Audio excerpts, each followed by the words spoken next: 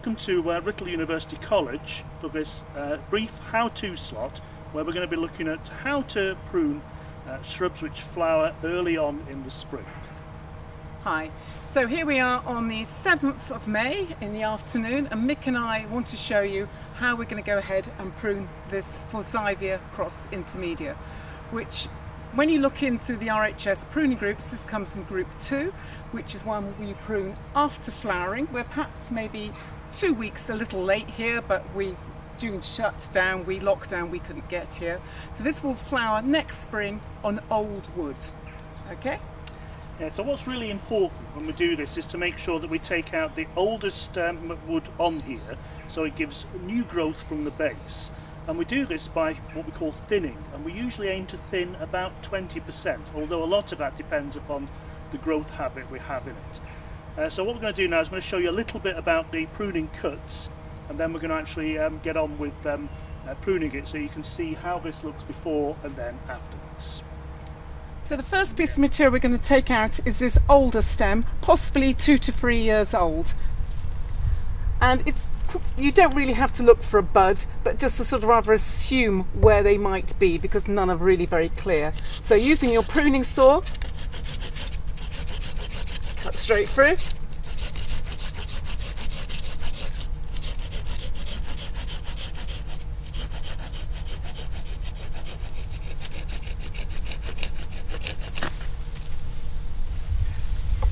And already this is actually, in fact, we've taken out quite a percentage of the shrub.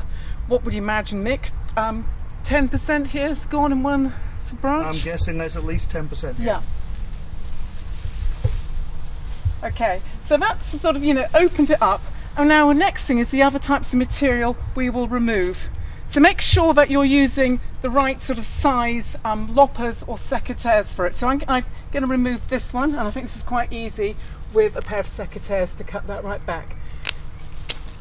And if you look in here, we've got some lovely new growth coming through, which is actually growing far more upright. So this can come out of the way. Then we've got this branch here. We could cut it back to there to let that one go through, or we could take it the whole way back.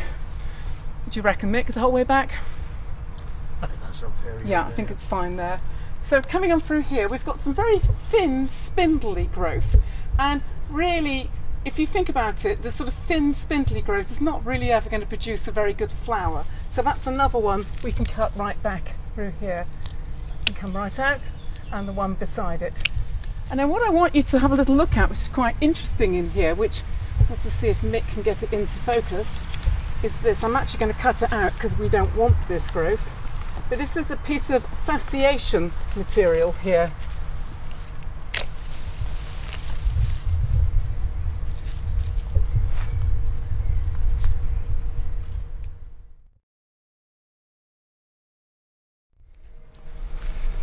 Right, what we have here is that fasciated branch which I showed you before. And you see with fasciation, it's a better example than the first one we showed. We just happened to find this while we're pruning. It's good this one because what it shows you is the normal growth there and the fasciated growth which has started down here but it's grown out of it. Now lots of plants fasciate. Okay, so we see, I'll sit right here, we see this.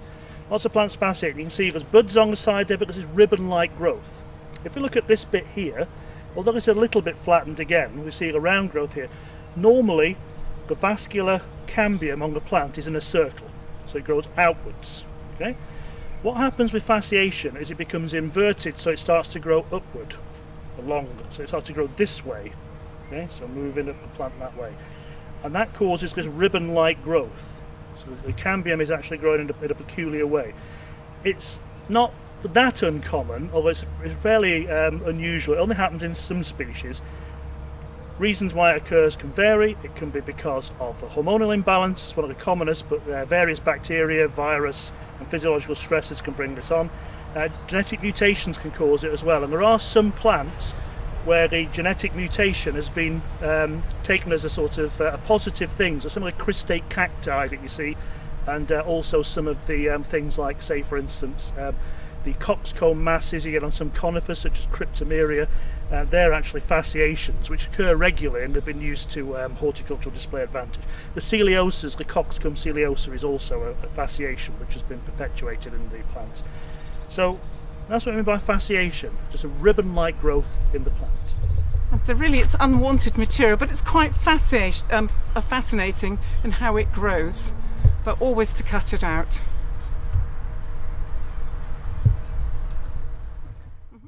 If you look here, you see where my elegant finger is. Um, you can see the previous um, pruning cuts, and there's quite a few things there you can see which have been really done incorrectly. So it's sort of a half a cut, and it's not a good clean cut going through the centre there. What we've got to avoid with this is this will be full of um, decaying matter, and it looks unsightly. So really, the cut perhaps should have gone lower down to here. So when you're making your cuts, try and ensure that you're making the, the least amount of cut area proportionally to make the surface area um, nice and small in your cut. So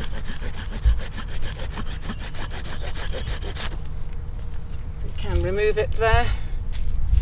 Okay, and then if we look here, also there's another one. I think I might, if I try to remove this old cut now, I might end up doing more harm than good. Yeah. Yeah. But if we also see in here, there's other material we want to remove, anything dead as well, and you can see other bits of old dead material, so we can cut those out.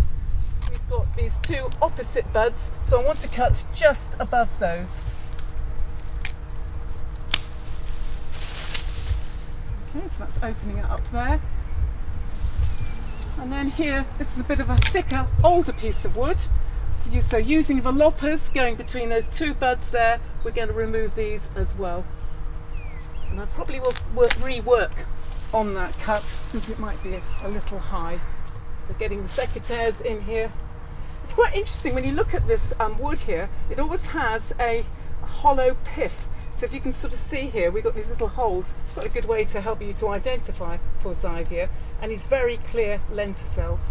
And then what we can also do is we can then decide to slightly thin it out. You want to make it um, quite good for air movement going through the shrub as well, which this stops things like infections from fungal um, damage as well. Plus it makes the shrub look more aesthetically pleasing.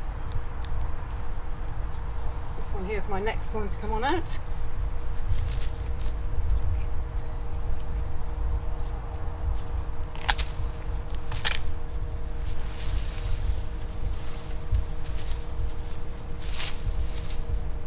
Through here we have a very thin um, weak growth which can be removed.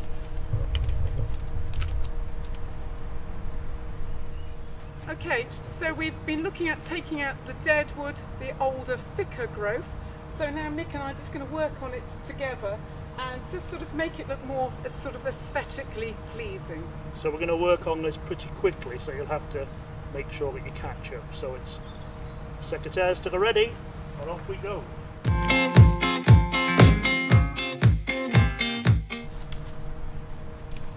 Remember to stand back and then look at your work to see where it's not balanced and things like that.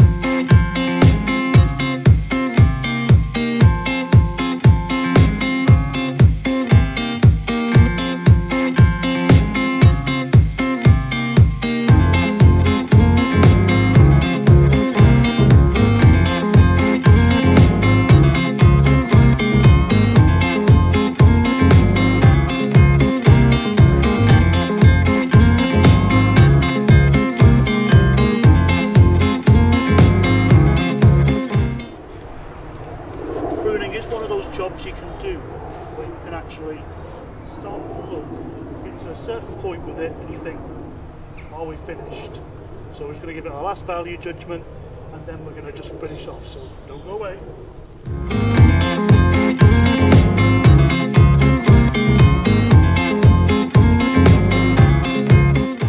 So there we are, Charlotte's just finishing off the last few bits now.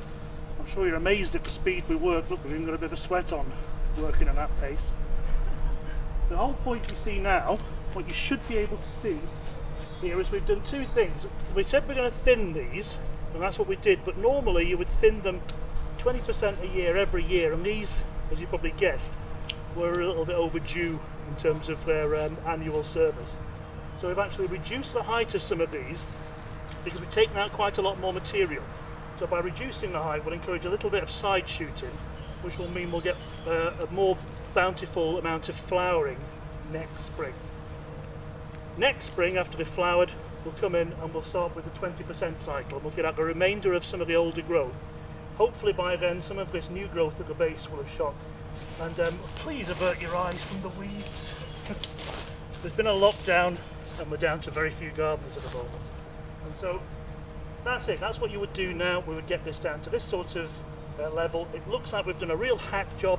We have. There's a lot of material to be taken off, but it will now grow through the summer, and that's where your flower will come from next year. The other sort of, of post pruning operations we can be looking at is obviously weeding around the base. We probably missed the boat with mulching. That that would been better done maybe two months ago. But we also could, if we feel they need it, feed as well to actually to help them yeah. for their whole regeneration. Yeah. Um, and, but it's you know, but hopefully it'd be quite nice if we can come back next year and just show you, you know, how well they flower really. I mean, the point about feeding, if you think about it, um, if you had an operation, you'd have to convalesce and they'd be giving you all sorts of not only medicines, but making sure you're eating the right type of food and looking at your diet. You have to do the same with your plants. If you've just given them a major operation, as we've given these here, they are, they've lost a huge amount of foliage because they had to be cut so late. And so, of course, that means that the roots haven't got an awful lot of food left in them. They've got to grow rapidly in order to make more food to make a robust and healthy plant for the next year. And they can only do that if they've got sufficient nutrient.